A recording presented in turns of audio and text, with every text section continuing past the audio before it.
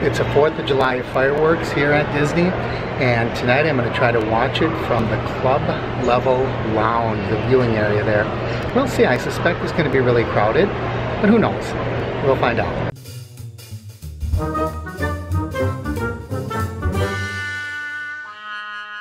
No, last night wasn't tonight. wasn't. Uh, Yeah, last night was um, ever after. ever after. I thought it was great. No. She wanted to Tonight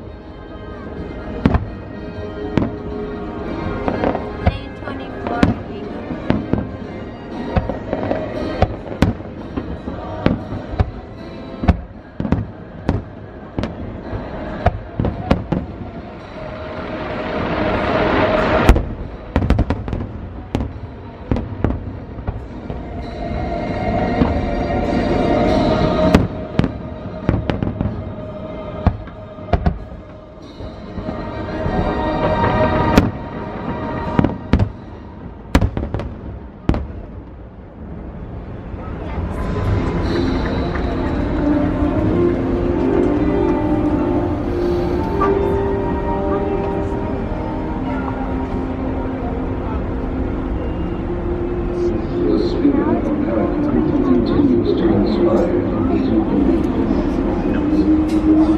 sea to shines, we are proud to share all this great information as to our